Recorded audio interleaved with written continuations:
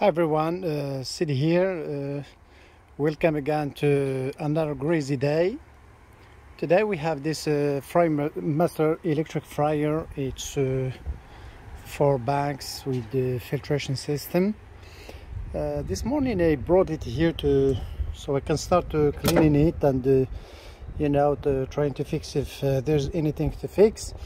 And I saw that the drain doesn't doesn't drain even if uh, I open the valve and I try to use uh, one of these uh, cleaning rods you know that goes in the drain but you know I can feel that uh, the drain is clogged.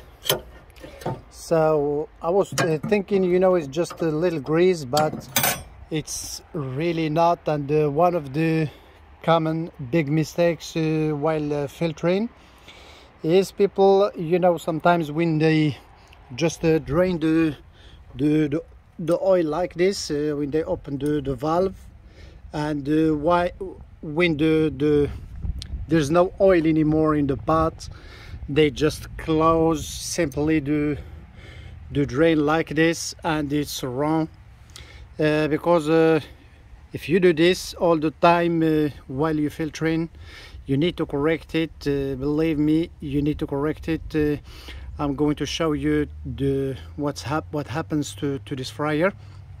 Always when you are filtering you need to leave the drain open like this while you start to, to filter at least for one minute to two minutes because there is always debris in the in the drain uh, spouts or pipes like this and uh, especially for a big one like this that's you now has to drain all the way to the left. So uh, stuff starts to build up here badly. Uh, and uh, if you can see one of the sleeves is broke. And you see the clamp. The clamp is, is just holding a little bit and you can see the grease coming out of here so we will have to to to take the the, the drain uh, uh, parts and uh, I will, I will show you what it looks like. For that reason we will have to to take the to, to open the, the clamps and uh, take these little bolts to to take the, the supports off from the the fryer and uh, we'll see how it goes. I'm sorry I don't have anyone to to hold the camera so I will do it uh, just myself. Once I'm, I'm taking this uh, uh, when you take this uh, the bolt like this you just bring something uh, but you have to push in the the the, the pipe in the in the valve here because I think it, it it's coming out but for this fryer it will be hard but we will see. Uh, once you take the, the, the clamps off as you can see uh, usually I use some WD-40 and uh, you know to lubricate the, the thing and uh, take it like a screwdriver a flat screwdriver and nicely don't uh, miss your sleeve. And try because uh, usually it sticks to to the pipe so and go around it like this.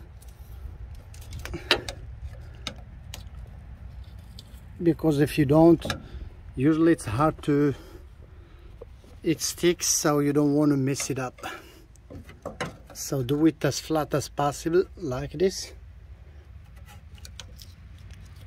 And go all around it like this so you will be able to to slide it to slide it just if you can.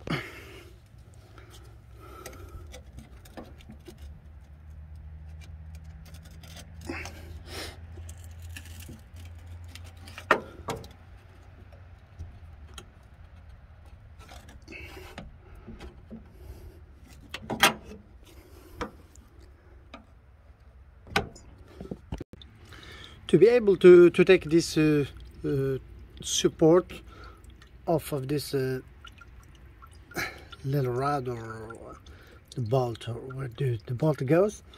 Uh, usually I put some WD-40 spray it here.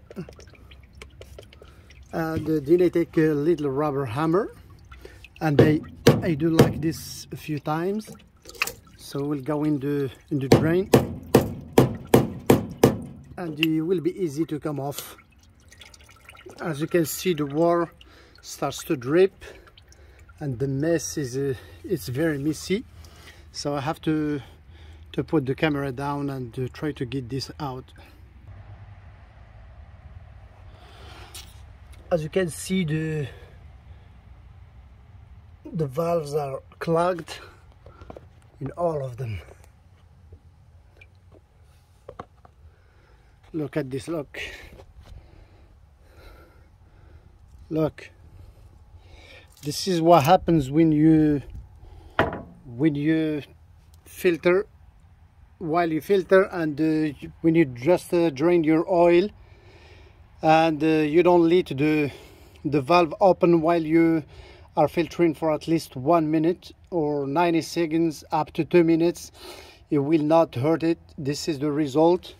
And uh, you know the debris starts to build up like this you see and uh, it gets worse and worse until you cannot uh, drain your oil anymore. Then uh, that will be a big mess to fix. Look at this.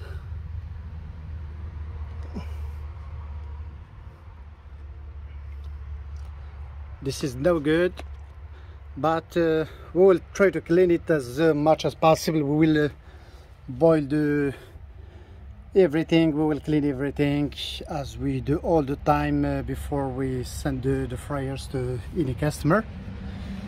Uh, and uh, we will see.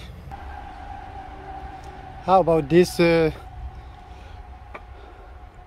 I, I already cleaned the one fryer like this and uh, and uh, I reconditioned the the spouts or the, the, the sleeves the clamps are, are very good. Look at these ones that belongs to this fryer. They need some cleaning too. And that's uh, what we will do in this job. Thank you very much for watching. Uh, please uh, uh consider subscribing to our channel to support us. Uh, if you haven't we do appreciate it. And uh, stay greasy. You have a nice day